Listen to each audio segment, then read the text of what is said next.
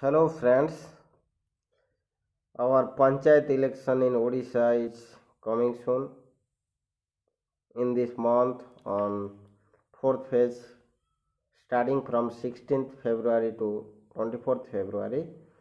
So my appeal especially to youth, girls, students, women who those are victimized from several years in Odisha please please and please vote for only youth educated highly qualified people so that we can appeal we can demand we can pressurize when we are need because from thousands of years our people selling vote for pouch pudia liquor, chicken, and we haven't a good home, good road, good communication, good education, hospital. We have not bridge to cross the river. We are facing lots of problem.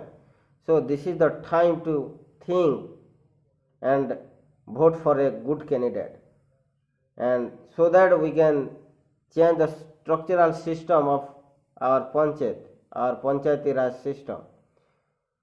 Who those are eligible candidates, they are not getting home. Who those are eligible candidates, they are not getting age pension. So this is the very crucial period.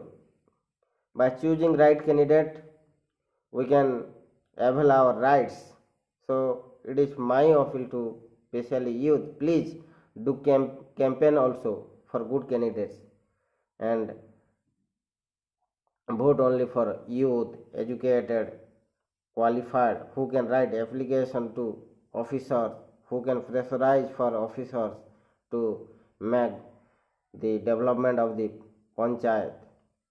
So don't choose any drunkard who who who is buying votes.